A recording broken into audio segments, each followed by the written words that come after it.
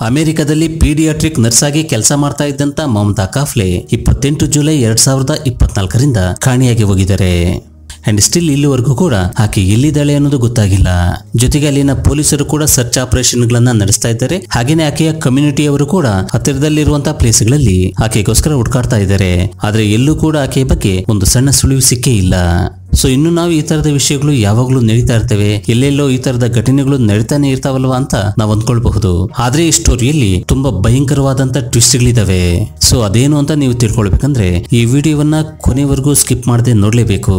ಮಮತಾ ಕಾಫ್ಲೆ, ಈಕೆ ಸೋಷಿಯಲ್ ಮೀಡಿಯಾಗಳಲ್ಲಿ ಮತ್ತು tick talk ಅಲ್ಲಿ ತುಂಬಾ ಆಕ್ಟಿವ್ ಆಗಿರುವಂತ ಲೇಡಿ ಅಂಡ್ ಡೈಲಿ ಆಕೆ ಯಾವ್ದಾದ್ರು ಒಂದು ವಿಡಿಯೋವನ್ನ ಪೋಸ್ಟ್ ಮಾಡ್ತಾನೆ ಇರ್ತಾಳೆ.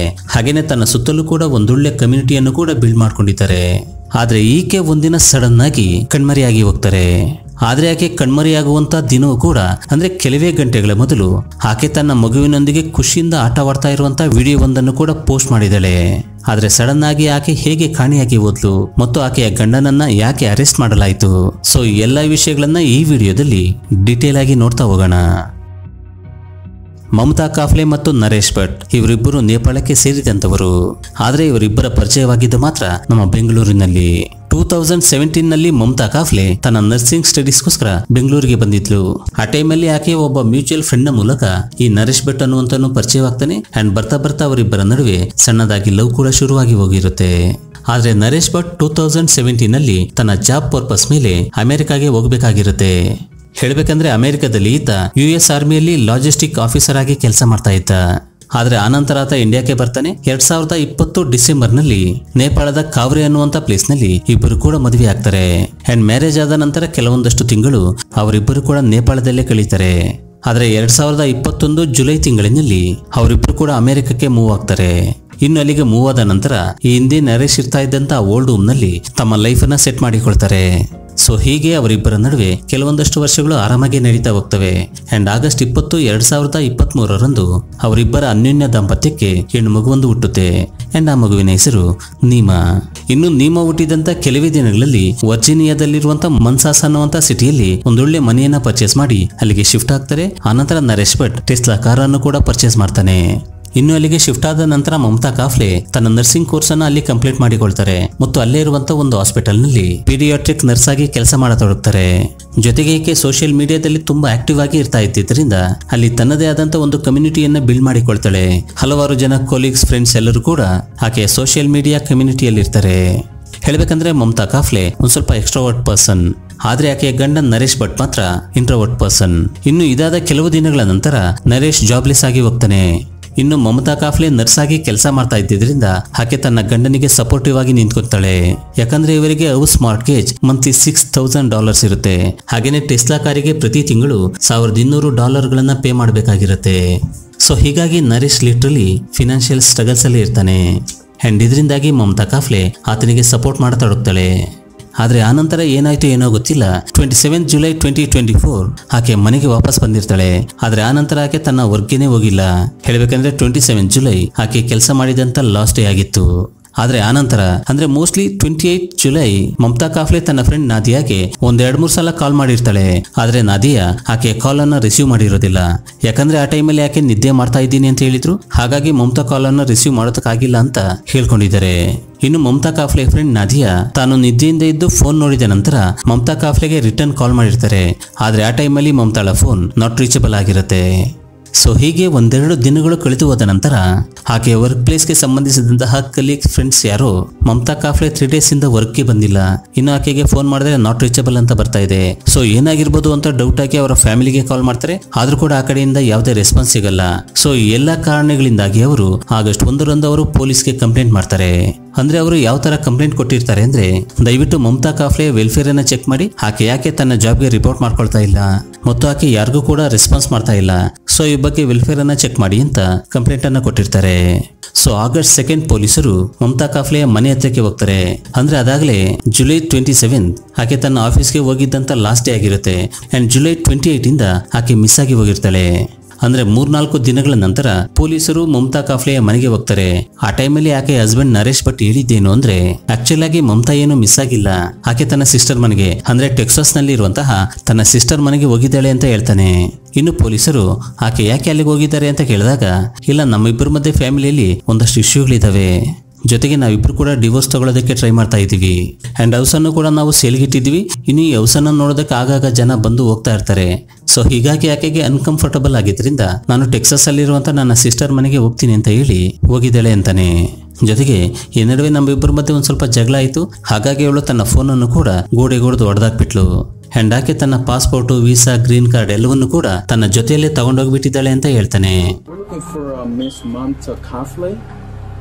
Yeah, she, she like uh, on Tuesday, uh, Wednesday, she left and then she says she gonna go either New York or Texas and then she left uh, like uh, she had the phone and then she destroyed that phone and then she left. Did she say why she left? Yeah, because you know like uh, we are about to separate and then the home inspection come here to I'm about to sell the home. ಇನ್ನು ಪೊಲೀಸರು ಆತನ ಮಾತುಗಳಿಗೆ convince ಆಗ್ತಾರೆ mostly ಅವರ ಫ್ಯಾಮಿಲಿಯಲ್ಲಿ ಏನೋ ಸಣ್ಣ ಸಣ್ಣ ಇಶ್ಯೂಗಳು ಇರೋದ್ರಿಂದ ಈ ತರ ಎಲ್ಲ ಆಗಿರ್ಬೋದು ಅನ್ಕೊಂಡು ಅಲ್ಲಿಂದ ಹೊರಟು ಹೋಗ್ತಾರೆ ಆದ್ರೆ ಸಡನ್ ಆಗಿ ಏನಾಯ್ತೋ ಏನೋ ಗೊತ್ತಿಲ್ಲ. ಆಗಸ್ಟ್ ನಾಲ್ಕರಂದು ನರೇಶ್ ಭಟ್ ಪೊಲೀಸರಿಗೊಂದು ಕಂಪ್ಲೇಂಟ್ ಅನ್ನು ಕೊಟ್ಟು, ನನ್ನ ವೈಫ್ ಮಮತಾ ಕಾಫ್ಲೆ ಎಲ್ಲಿಗೆ ಹೋಗಿದ್ದಾಳೆ ಅಥವಾ ಎಲ್ಲಿದ್ದಾಳೆ ಅನ್ನೋದು ಗೊತ್ತಾಗ್ತಾ ಇಲ್ಲ. ಜೊತೆಗೆ ಆಕೆಯಿಂದ ಯಾವುದೇ ರೆಸ್ಪಾನ್ಸ್ ಸಿಗ್ತಾ ಇಲ್ಲ ಅಂತ ಮಿಸ್ಸಿಂಗ್ ಕಂಪ್ಲೇಂಟ್ ಒಂದನ್ನ ರಿಜಿಸ್ಟರ್ ಮಾಡ್ತಾನೆ. ಸೊ ಇದರಿಂದಾಗಿ ಆತನ ಕಂಪ್ಲೇಂಟ್ ಅನ್ನ ರಿಜಿಸ್ಟರ್ ಮಾಡ್ಕೊಂಡಂತ ಪೊಲೀಸರು, ಆವತ್ತಿನಿಂದ ಮಮತಾ ಕಾಫ್ಲೆ ಎಲ್ಲಿದ್ದಾಳೆ ಅನ್ನೋದನ್ನ ಹುಡ್ಕೋದಕ್ಕೆ ಶುರು ಮಾಡ್ತಾರೆ. ಹಾಗೇನೆ ಮಮತಾಗೆ ಸಂಬಂಧಿಸಿದಂತ ಫ್ರೆಂಡ್ಸ್ ಆಗ್ಲಿ ಕೊಲೀಗ್ಸ್ ಆಗ್ಲಿ, ಅಥವಾ ಕಮ್ಯುನಿಟಿಯಲ್ಲಿ ಇರುವಂತವರಾಗ್ಲಿ, ಒಂದು ಗ್ರೂಪ್ ಆಗಿ ಫಾರ್ಮ್ ಆಗಿ ಅವರು ಕೂಡ ಮಮತಾ ಕಾಫ್ಲೆಯನ್ನ ಹುಡ್ಕೋದಕ್ಕೆ ಶುರು ಮಾಡ್ತಾರೆ. ಸೊ ಹೀಗೆ ಕೆಲವು ದಿನಗಳು ಕಳೆದು ಹೋಗ್ತವೆ. ನನ್ನ ನರೇಶ್ ಭಟ್ ಕೂಡ ಪೊಲೀಸರಿಗೆ ಸಪೋರ್ಟಿವ್ ಆಗಿರ್ತಾನೆ. ಪೊಲೀಸರಿಗೆ ಯಾವುದೇ ಇನ್ಫಾರ್ಮೇಶನ್ ಬೇಕಾದ್ರೂ ಕೊಡ್ತಾ ಇರ್ತಾನೆ. ಲಾಸ್ಟ್ ಅವರಿಬ್ರು ಯಾವಾಗ ಮೀಟ್ ಮಾಡಿದ್ರು? ಅವರು ಮನೆಯಿಂದ ಹೊರಟು ಹೋಗಿದ್ದೆ ಯಾವಾಗ ಅಂಡ್ ಅವರಿಬ್ಬರ ಮಧ್ಯೆ ಏನೇನು ಇಶ್ಯೂಗಳಾಗಿತ್ತು ಅನ್ನೋದ್ರ ಬಗ್ಗೆ ಎಲ್ಲವನ್ನೂ ಕೂಡ ಪೊಲೀಸರಿಗೆ ಹೇಳ್ತಾ ತುಂಬಾ ಕೋಆಪರೇಟಿವ್ ಆಗಿದ್ದ. ಸೊ ಹೀಗೆ ಮತ್ತೆ ಕೆಲವು ದಿನಗಳು ಕಳೆದು ಹೋಗ್ತವೆ. ಮಮತಾ ಕಾಫ್ಲೆ ಮಿಸ್ ಆಗಿ ಹದಿನೈದರಿಂದ ಇಪ್ಪತ್ತು ದಿನಗಳು ಕಳೆದು ಹೋಗಿರ್ತವೆ. ಸೊ ಆ ಟೈಮಲ್ಲಿ ನಿಮ್ಮ ಬರ್ತ್ಡೇ ಬರುತ್ತೆ. ಸೊ ಅಷ್ಟಲ್ಲಾಗಲೇ ಮಮತಾ ಮಿಸ್ ಆಗಿ ಹೋಗಿರ್ತಾಳೆ. ಸಿಚುಯೇಷನ್ ತುಂಬಾ ಪ್ರಾಬ್ಲಮೆಟಿಕ್ ಆಗಿ ಕೂಡ ಇರುತ್ತೆ. ಆದ್ರೆ ನರೇಶ್ ಭಟ್ ತನ್ನ ಮಗಳಿಗೆ ಫಸ್ಟ್ ಬರ್ತ್ಡೇ ಮೆಮೊರಬಲ್ ಆಗಿ ಇರಬೇಕು ಅನ್ಕೊಂಡು ಹತ್ರದಲ್ಲೇ ಇರುವಂತ ಫ್ರೆಂಡ್ಸ್ಗೆ ಕೊಲೀಗ್ಸ್ಗೆ ಒಂದಷ್ಟು ರಿಲೇಟಿವ್ಸ್ ಅನ್ನ ಬರ್ತ್ಡೇಗೆ ಕರೀತಾನೆ. ಯಾಕಂದ್ರೆ ಆತನಿಗೆ ತನ್ನ ಮಗು ಅಂದ್ರೆ ತುಂಬಾ ಇಷ್ಟ ಇರುತ್ತೆ. ಹಾಗಾಗಿ ಸಣ್ಣದಾಗಿ ಒಂದು ಬರ್ತ್ಡೇ ಪಾರ್ಟಿಯನ್ನ ಅರೇಂಜ್ ಮಾಡಿರ್ತಾನೆ. ಇನ್ನು ಆ ಬರ್ತ್ಡೇಗೆ ಒಂದಷ್ಟು ಜನ ಫ್ರೆಂಡ್ಸ್ ಫ್ಯಾಮಿಲಿಯವರು ಬಂದಿರ್ತಾರೆ. ಆದ್ರೆ ಅವರೆಲ್ಲರೂ ಕೂಡ ಬಂದಿರಬೇಕಾದಂತ ಟೈಮಲ್ಲಿ ಏನಾಗುತ್ತೆ ಅಂದ್ರೆ ಈ ನರೇಶ್ ಭಟ್ ಸ್ವಲ್ಪ ಆರ್ಡ್ ಆಗಿ ಬಿಹೇವ್ ಮಾಡೋದಕ್ಕೆ ಶುರು ಮಾಡ್ತಾನೆ. ಅದೇಗಂದ್ರೆ ಯಾರಾದ್ರೂ ಫೋಟೋ ತೆಗಿತಾ ಇದ್ರೆ ಅಥವಾ ಯಾರಾದ್ರೂ ಯಾವ್ದಾದ್ರೂ ರೂಮ್ ಒಳಗೆ ಹೋಗ್ಬೇಕು ಅನ್ಕೊಂಡ್ರು ಕೂಡ ಅವರನ್ನ ಒಳಕ್ಕೆ ಬಿಡ್ತಾ ಇರಲಿಲ್ಲ ಮತ್- ಮತ್ತು ಫೋಟೋಸ್ ಅನ್ನ ತೆಗೆದುಕೊಳ್ಳೋದಕ್ಕೆ ಅಬ್ಜೆಕ್ಷನ್ ಮಾಡ್ತಾ ಇದ್ದ. ಸೊ ಇದರಿಂದಾಗಿ ಅಲ್ಲಿದ್ದಂತ ಕೆಲವರಿಗೆ ಡೌಟ್ ಬಂತು. ಹಾಗಾಗಿ ಅವರು ಇದೆಲ್ಲ ಯಾಕೆ ಅಂತ ಕೇಳಿದ್ರೆ ಅದಕ್ಕೆ ನರೇಶ್ ಭಟ್ ಹೇಳಿದ, ಇಲ್ಲ, ನನಗೊಂದು ಸ್ವಲ್ಪ ಪ್ರೈವೇಸಿ ಇಶ್ಯೂಗಳು ಬರ್ತಾ ಇದ್ದಾವೆ. ಈಗಾಗಲೇ ಮಮತಾ ಕೂಡ ಮಿಸ್ ಆಗಿ ಹೋಗಿದ್ದಾಳೆ. ತುಂಬಾ ಟೆನ್ಷನ್ ಇದೆ. ಹಾಗಾಗಿ ನನ್ನ ಪ್ರೈವೇಸಿ ಹೋಗುತ್ತೆ ಅಂತ ಹೇಳ್ಕೊಂಡಿದ್ದ. ಆದ್ರೆ ಯಾಕೋ ಏನೋ ಗೊತ್ತಿಲ್ಲ. ಅವರಲ್ಲಿದ್ದಂತ ಕೆಲವರಿಗೆ ಡೌಟ್ ಬಂದು ಅವರು ಪೊಲೀಸರಿಗೆ ಕಾಲ್ ಮಾಡ್ತಾರೆ. ನಮ್ಗೆ ಯಾಕೋ ನರೇಶ್ ಭಟ್ ಮೇಲೆ ಡೌಟ್ ಇದೆ. ಹಾಗಾಗಿ ನೀವು ಆತನನ್ನ ಇಂಟ್ರೋಗೇಟ್ ಮಾಡಬೇಕು. ಜೊತೆಗೆ ನೀವು ಅವರ ಮನೆಯನ್ನ ಖಂಡಿತವಾಗ್ಲೂ ಚೆಕ್ ಮಾಡಬೇಕು ಅಂತ ಹೇಳಿರ್ತಾರೆ. ಯಾಕಂದ್ರೆ ಇದಕ್ಕೂ ಮೊದಲು ಪೊಲೀಸರು ನರೇಶ್ ಭಟ್ ಮನೆಗೆ ಬಂದಿರ್ತಾರೆ. ಮಮತಾ ಕಾಫ್ಲೆ ಬಗ್ಗೆ ವಿಚಾರಿಸಿರ್ತಾರೆ. ಆದ್ರೆ ಮಿಸ್ಸಿಂಗ್ ಕಂಪ್ಲೇಂಟ್ ಆಗಿರೋದ್ರಿಂದ ಅವರು ಮನೆ ಹತ್ರಕ್ಕೆ ಬಂದಿರ್ತಾರೆ. ಮಮತಾ ಕಾಫ್ಲೆ ಹಸ್ಬೆಂಡ್ ಹತ್ರ ಮಾತಾಡಿರ್ತಾರೆ. ಹಾಗೇನೆ ಫ್ಯಾಮಿಲಿ ಇಶ್ಯೂಗಳು ಏನೋ ಅನ್ಕೊಂಡು ಅಲ್ಲಿಂದ ಹೊರಟು ಹೋಗಿರ್ತಾರೆ. ಆದ್ರೆ ಈಗ ರಿಲೇಟಿವ್ಸ್ ಇಂದ ಮತ್ತು ಫ್ರೆಂಡ್ಸ್ ಇಂದ ಕಂಪ್ಲೇಂಟ್ ಬಂದಿದ್ದರಿಂದ ಈ ಕೇಸನ್ನು ಸೀರಿಯಸ್ ಆಗಿ ತಗೊಂಡಂತ ಪೊಲೀಸರು ವಾರೆಂಟ್ ನೊಂದಿಗೆ ನರೇಶ್ ಭಟ್ ಮನೆಗೆ ಎಂಟರ್ ಆಗ್ತಾರೆ.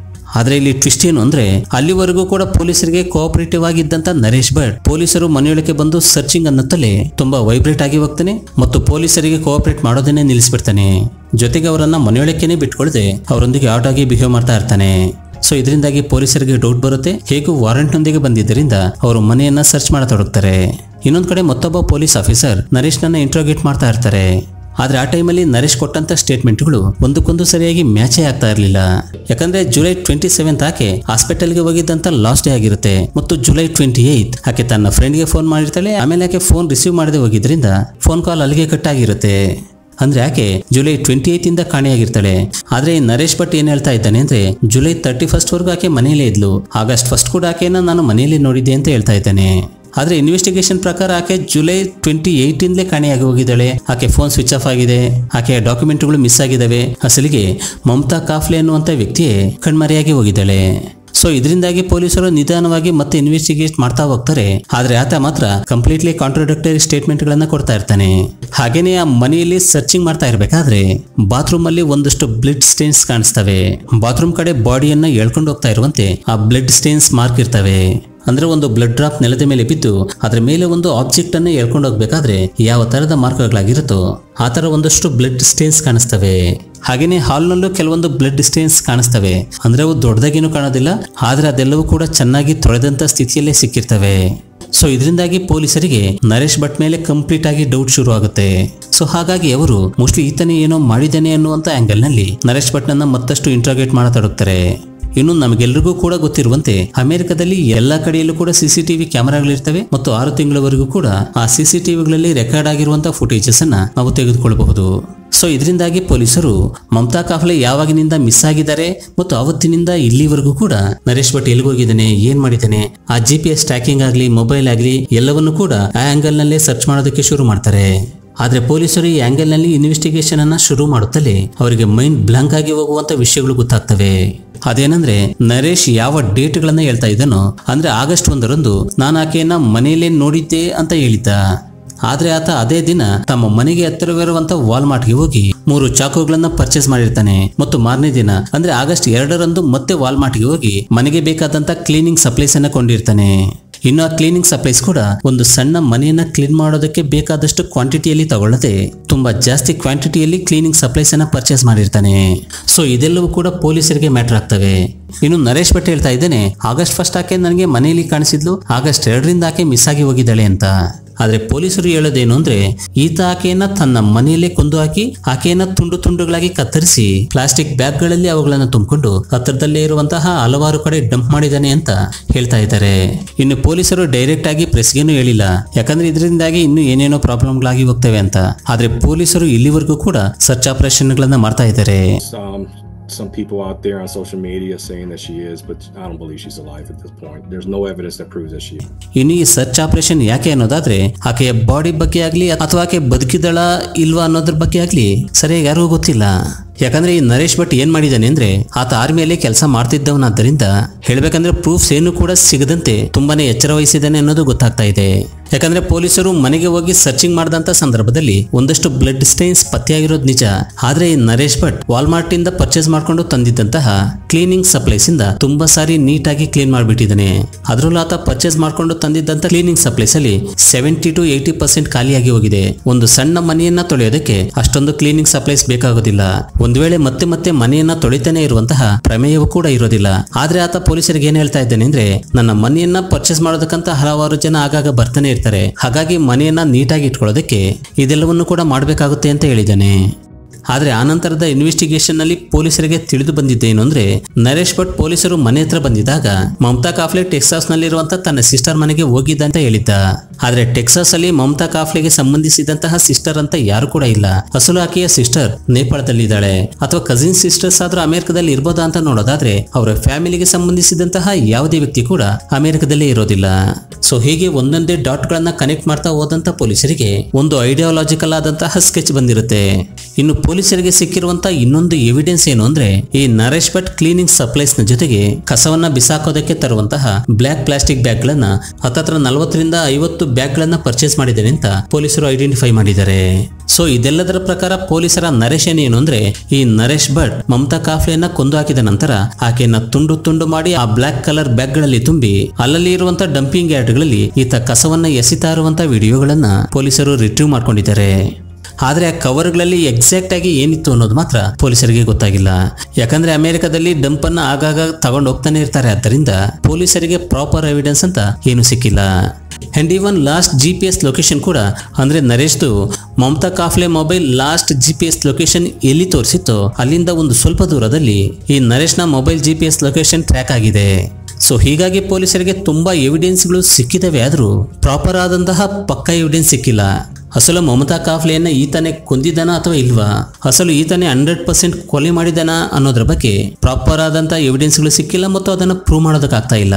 ಸೊ ಹಾಗಾಗಿ ಸ್ಟಿಲ್ ಇನ್ನು ಕೂಡ ಮಮತಾ ಕಾಫ್ಲೆ ಕಾಣೆಯಾಗಿರುವ ಬಗ್ಗೆ ಸರ್ಚ್ ಆಪರೇಷನ್ಗಳು ನಡೀತಾನೆ ಇದಾವೆ. ಅಂಡ್ ಪೊಲೀಸರಿಗೆ ಇಂಟ್ರಾಗೇಷನ್ನಲ್ಲಿ ಸಿಕ್ಕಿರುವಂತಹ ಭಯಂಕರವಾದಂತಹ ಸತ್ಯ ಏನು ಅಂದ್ರೆ, ಈ ಮಮತಾ ಕಾಫ್ಲೆ ಕಾಣೆಯಾಗೋದಕ್ಕೂ ಮುಂಚೆ ಮತ್ತು ಆಮೇಲೆ ನಡೆದಿರುವಂತಹ ಆ ಗ್ಯಾಪ್ ಅಲ್ಲಿ ನರೇಶ್ ಭಟ್ ಗೂಗಲ್ನಲ್ಲಿ ಏನೆಲ್ಲ ಸರ್ಚ್ ಮಾಡಿದ್ದಾನೆ ಅನ್ನೋದ್ರ ಬಗ್ಗೆ ಪೊಲೀಸರು ಒಂದಷ್ಟು ಎವಿಡೆನ್ಸ್ ಗಳನ್ನ ಕಲೆಕ್ಟ್ ಮಾಡಿದ್ದಾರೆ. ಒಂದ್ ವೇಳೆ ವೈಫ್ ಏನಾದ್ರೂ ಸಡನ್ ಆಗಿ ಡೆತ್ ಆದ್ರೆ ಅವರು ಮಾಡಿರುವಂತ ಡೆಟ್ ಅಂದ್ರೆ ಸಾಲ ಏನಿದೆಯೋ, ಅಂದ್ರೆ ಅವರು ಅಮೆರಿಕದಲ್ಲಿ ಮನೆಯನ್ನ ಪರ್ಚೇಸ್ ಮಾಡೋದಕ್ಕೆ ತೆಗೆದುಕೊಂಡಿರುವಂತ ಸಾಲ, ಹಾಗೇನೆ ಟೆಸ್ಲಾ ಕಾರನ್ನ ಪರ್ಚೇಸ್ ಮಾಡಬೇಕಾದ್ರೆ ಮಾಡಿರುವಂತ ಸಾಲ, ಮತ್ತು ಅದರ ಇನ್ಸ್ಟಾಲ್ಮೆಂಟ್ಗಳು ಏನಾಗ್ತವೆ ಅಂತ ಗೂಗಲ್ ಅಲ್ಲಿ ಸರ್ಚ್ ಮಾಡಿದ್ದಾನೆ. ಜೊತೆಗೆ ಆತ ಒಂದ್ ವೇಳೆ ವೈಫ್ ಸತ್ತು ಹೋದ ನಂತರ ತಾನು ಎಷ್ಟು ದಿನಗಳ ನಂತರ ಮತ್ತೊಂದು ಮ್ಯಾರೇಜ್ ಅನ್ನ ಆಗ್ಬೋದು ಅನ್ನೋದ್ರ ಬಗ್ಗೆ ಗೂಗಲ್ ಸರ್ಚ್ ಮಾಡಿದ್ದಾನೆ. ಸೊ ಇವೆಲ್ಲವನ್ನು ಕೂಡ ಇಂಟರ್ಲಿಂಕ್ ಮಾಡ್ತಾ ಹೋದ್ರೆ ಈ ನರೇಶ್ ಭಟ್ಟೆ ಮಮತಾ ಕಾಫ್ಲೆನ ಕೊಂದಾಕಿದ್ದೇನೆ ಅಂತ ಆ ಪೊಲೀಸರು ಹೇಳ್ತಾ ಇದ್ದಾರೆ.